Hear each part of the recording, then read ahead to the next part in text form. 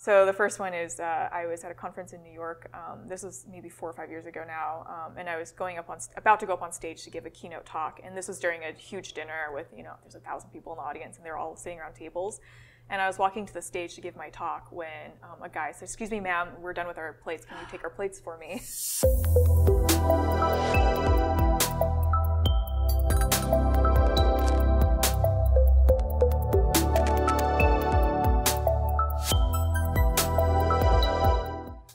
Everyone, I'm Phoebe Foy with Quantopian. Quantopian educates and inspires people all over the world to solve today's hardest investment challenges. Today, on another episode of Women in FinTech, I am here with Christina Qi, who's a partner at Domeyard. Thanks for being here. Thank you for having me, Phoebe. Why don't we start by you just telling everyone a little bit about Domeyard and a typical day for you? Sure. So um, I founded Domeyard about six years ago now, um, out of a dorm room actually. So wow. we were still in college at the time, uh, and basically uh, we were trading. You would we'd go to class by day because we had to go to class, and then we would trade at you know two or three a.m. Um, oh the European gosh. session, you know, at two or three a.m. in the morning. Um, oh and that was when we kind of started it and decided, you know what, like we might as well just start this company. And if you know if things fail, it's okay. Um, we have a good safety net. We can always go work elsewhere. Yeah. And that's not a bad thing. So so we decided to start it up. Um, so today now we're um, you know one of the I guess foremost uh, startup HFT kind of hedge funds, which is kind of a unique thing altogether. Yeah, um, and we're lucky to be alive today. I guess. it's challenging. yeah, it is. Very cool. So um, yeah, what's a typical day like for you as a partner? Oh man, there's there's no typical oh, day yeah, now. I it's so like I've uh, been focusing on you know I do a lot of investor relations. I mm-hmm. do um, a little bit of a little bit of coding here and there as well, um, managing the team, hiring people, yeah, you know, kind of a little bit of everything. Exactly. Um, you know, with our service providers and stuff like that too. So just working with kind of everybody to make sure that the company comes together at the wow. end of the day and yeah. is, is, still alive and trading mm-hmm. and you know managing things properly. and what year was it in college that you started? Um, this was back in 2012, uh, and then I graduated in 2013. Okay. So yeah. And so, what made you decide it'd be better to start this on your own than just go look for a job somewhere? That's a good question. Wow. um, you know, I had a couple of internship experiences, uh, and and they were great, definitely mm-hmm. really fun experiences. But I realized that for me, Wall Street wasn't maybe the right environment just Got for it. me personally. Yep. Um, you know, I preferred a smaller environment, mm-hmm. um, and you know, in finance, obviously, there's there's a lot of big firms, and back then I didn't know there were a lot of small firms as well. Yeah. And so, um, but anyway, we started a small company, and um, that way, you know, we could kind of control the culture and create kind of the environment that we wanted to see. Uh, and so, yeah, that was kind of what kind of drove us to start this business. And the other thing was also realizing that the returns we had were pretty nice, you know, and that we could, go.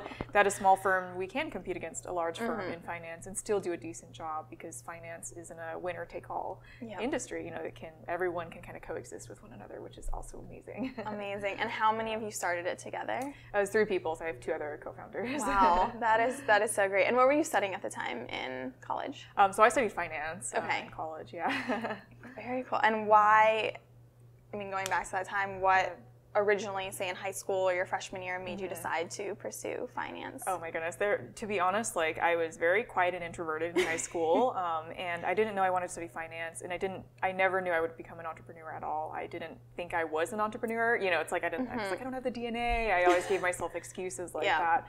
But then, um, then I ended up choosing finance because uh, actually um, I realized I wanted a work environment where I could see feedback from my work on a daily basis, okay. hopefully. So I wanted to, you know, in trading, you can see exactly. how, usually, depending on the type of trading you do, we do mm-hmm. high frequency trading. So yeah. you can see how good or bad you're doing every day because the feedback in the data is so, it's there, it's so mm-hmm. obvious. Mm-hmm. Um, and so I really like that faster feedback loop on my job um, and that it was based on science, you know, and not based on politics. And yeah. so, you know, it's like you can't uh, argue with numbers. You know, if the numbers show that I'm doing a good job, then I'm doing a good job. so that that's, was that's so true motivator. So did you decide that already freshman year to pursue finance, or had you like taken some courses prior? Yeah, I like started off wanting to major in biology, worked in a bio lab, um, and the feedback that was when I realized the feedback loop. You know, yeah. months doing research and trying to apply for grants, mm-hmm. and then afterwards, you know, hopefully to try to get published, and that takes that could take years. You know, um, and so we were working mm-hmm. with PhDs on this, and they were telling me like, yeah, you don't want to, you know, if you care about that feedback loop, you don't want to work in this yeah. field. And yeah. I was like, oh, okay. Um, so I kind of switched around, tried different classes freshman year, uh, and then kind of just settled on finance at the end. Okay. Uh, and you know, I felt it was actually thankfully the best decision I've made. And, Absolutely. You know, I thought it was kind of just accidentally fell into it, but at the same time, you know, it turned out pretty decent. Mm-hmm. Yeah. and uh, your story is just like so amazing and inspiring. So, can you talk a little bit about Mm-hmm. actually like starting Domeyard and like where it went from being in a dorm to now being successful? Yeah, I think one of the biggest um, misconceptions people have when they think about starting a hedge fund is like, oh, all you need to do is buy a computer and you know create an algorithm, and then just tomorrow just launch Yeah. and magically make billions of dollars. You know, yeah, that of course. yeah, right. It sounds so easy, but um, it took us two and a half years to get to launch, um, Okay. and that was, you know, it's a very long time, um, but pretty average and standard for the industry. Mm-hmm. Yeah, yeah. unfortunately, Um, you know, finding service providers and incorporating the cost is a lot higher than people would expect, Mm-hmm. um, and so you know, all of those things combined, I think, uh, you know, was pretty challenging. I guess you have to bypass those initial hurdles of you need to have the money to Yeah. pay for your lawyers, even, or setting up the bone, bare bone, you know, Very structure true. of the fund. Mm-hmm. Um, and most hedge funds have, you know, maybe five or six different uh, legal entities just alone. And then besides that, you need to have all the documents kind of connecting them, Mm-hmm. you know, your PPMs and your limited partnership agreements and all those other agreements. It, Yeah. it adds up to a lot. lot. Um, and so doing all of that and setting it up and then finding investors and, you know, we haven't even thought about that yet, you know, and then finally after that, finally getting your investors on board, um, getting all the technology in place and Mm-hmm. stuff. Um, so it took us a lot of time and a lot of uh, stress and hardship, I'm I sure. guess, to, to kind of get all that together all at the same time. Wow. And how, how large is it today? um, so we trade about, I think, one and a half to two billion ish per day. Now. Amazing. Um, our assets under management for a HFT firm were pretty standard. So we have a very small AUM. We're less than 100 million. Mm-hmm. Okay. Um, and what we do is we turn over so many times during the day, so we trade a lot. and we might Mm-hmm. make uh, maybe like up to thousands of trades, you know, during the day. And Wow. so that volume kind of adds up. Yes, for sure. Yeah. And how about company size? How large is it grown? We're very small, Okay. so I think we're at about 13 full-time employees Okay. today. So yeah, we're so uh, very different from three. yeah. Some big growth. and so, taking a step back before your career, Mm-hmm. Who was there as like a mentor and inspired you to become an entrepreneur or just pursue finance and Yeah, all aspects of your life? question. Um, you know, funny thing is, I've actually never had a formal mentor before. Uh, I think a lot of times uh, people will ask me. Actually, I get that question a lot at conferences where people will ask me like, "Who who are your mentors? Who did you look up to? And how do you find a mentor?" Actually, and you know, my answer always is actually I don't know because um, I've tried for many years to find a mentor, um, and you know, I actually never found one. Um, but I have had people. You know, obviously there's people who support me. Um, I have maybe informal mentors or people who, you know, if I have issues with, I can always go and cry. And, Yeah. You know, so there's always people like that. Um, but I think also it is important to notice that, um, you know, it's a common topic discussed amongst women, but not amongst men. And I think that's also an interesting. That's true. There should be more studies on that because. You know, men are just encouraged to just do your own thing. You know, just go for it, right? Yeah, Whereas don't need any women are like, you need somebody to look up to all the time. Very and- true. and so I think it's a it's one thing I realized is like you know it's okay to not you know it's good to have a mentor, but if you don't have one, there's nothing wrong with you.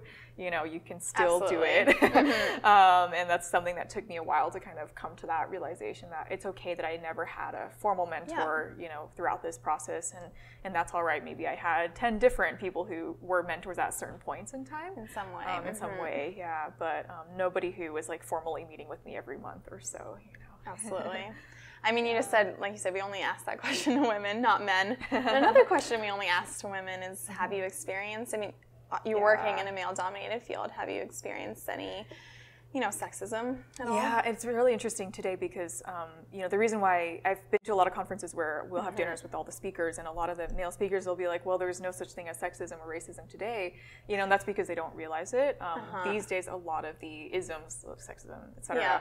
they're a lot more. Um, it's a lot more subtle and subconscious. Like they're That's they don't mean to consciously discriminate, and they don't have a bad Mm-hmm. intention, but rather they just kind of do it without even realizing that they were doing something bad. So I'll tell. I have two stories. I'll tell you one story where I was discriminated against, and then one story where I discriminated against a woman. Okay. So that can give you guys a sense that even women do. you Yeah, know, it's very subconscious.